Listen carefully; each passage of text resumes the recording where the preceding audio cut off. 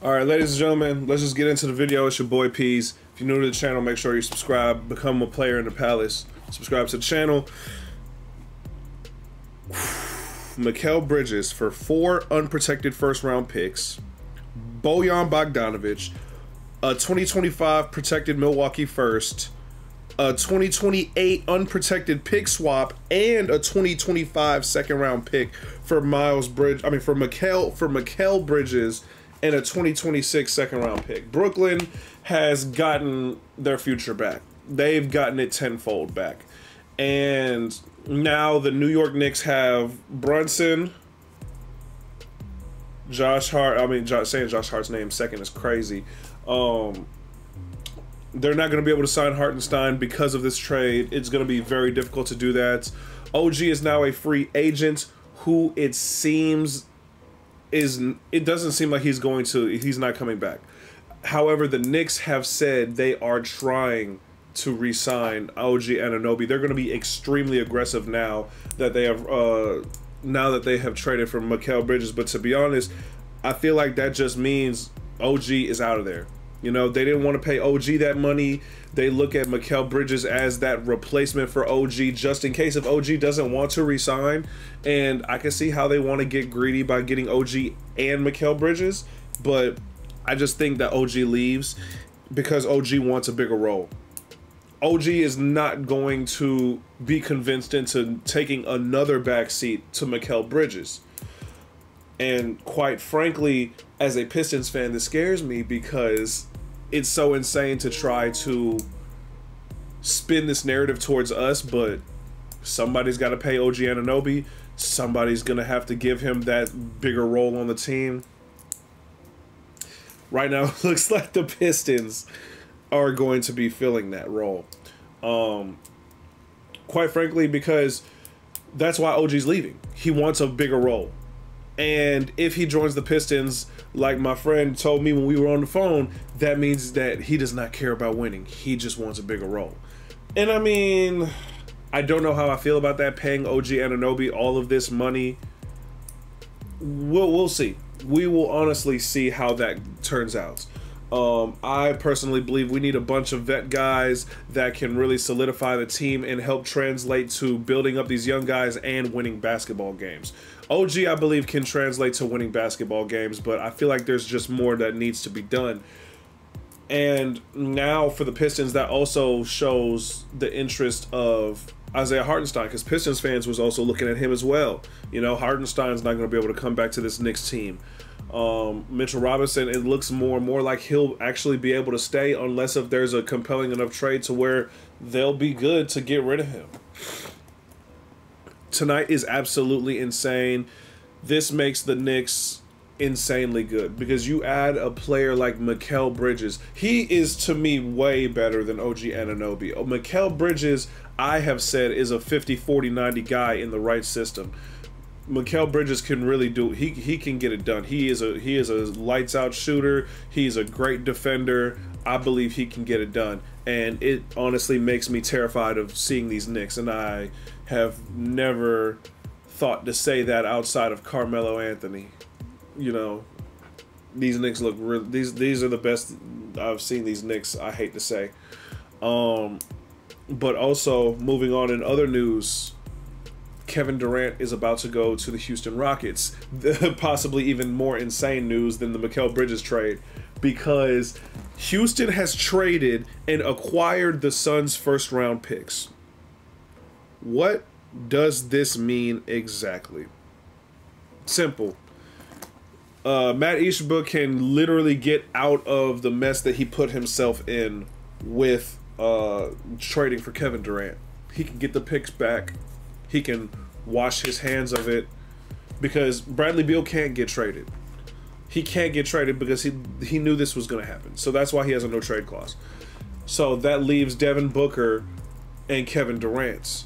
And right now Houston has a real sweet deal including what what pick is this that Houston has? I, I believe it's number 3. This is absolutely insane. This is absolutely insane. And this is a day before the NBA draft.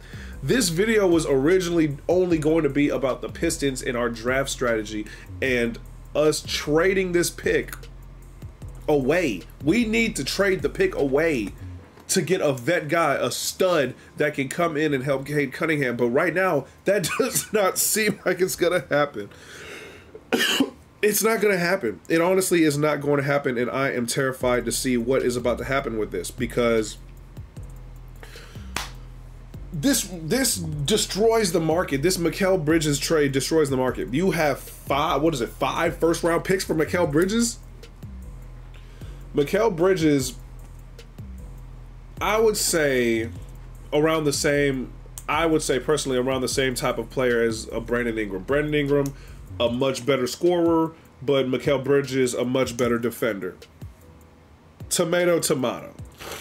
So that causes an obvious issue where Pistons fans were saying, "Oh no, we're going to get a first round pick back from from uh, from the Pelicans."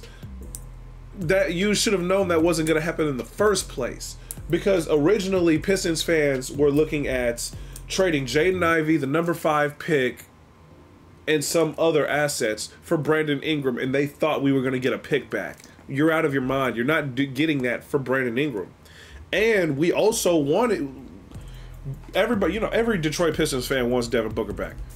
They're in a hole. They have to either trade KD or Devin Booker. This isn't going to work now because of this Mikal Bridges trade. It's all ruined. It is all honestly ruined. So, another thing to also look for for the Pistons is Nick Claxton. So, the Nets are in full rebuild mode. They're tearing absolutely everything down. They're going down to the bare bones in Brooklyn. So what does that mean for us?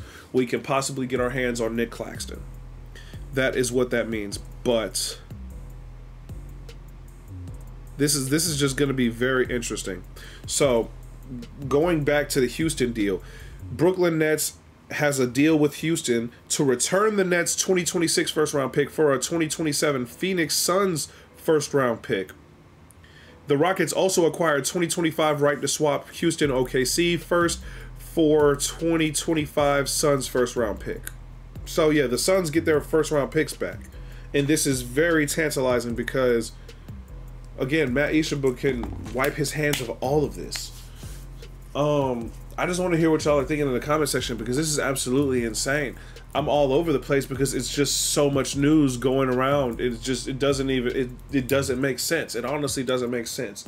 You still have Tobias Harris news about we're closing in on a deal to bring Tobias Harris back to Detroit. I absolutely hate that. Unless if you're somehow bringing in a guy like Jarrett Allen as well, I'm for it. But if you're not bringing in other guys along with Tobias Harris, I don't want this deal to get done. The Pistons have over $60 million in cap space. We have to re-sign Cade to the max. No, no ifs, ands, or buts. We have to re-sign Cade to the max. We have to unload that first that first round pick. I'm terrified that they're going to use that first round pick because we don't need any more young guys. We need guys that are going to step in and step up. We need solidified guys. Hell, trade back. As long as it means you're getting good veteran leadership, not guys like Cory Joseph, not guys like Delon Wright. I'm just, I, I'm sick of, I am so sick of it. I'm sick. I am sick of getting these old, washed up guys. No offense to y'all, but you just didn't work out in Detroit. I'm absolutely sick and tired of it. I I can't handle this. I honestly can't. So being it's just great being a basketball fan all around right now it's just it, it's it's just so amazing to see right now. This is absolutely insane. And the Knicks still own the 24th and the 25th uh, pick in this year's draft. This is I'm just now realizing four of these players on the New York Knicks are from Villanova. Josh Hart, DiVincenzo, Jalen Brunson, and Mikal Bridges. This this is to get crazy. This is going to be absolutely insane.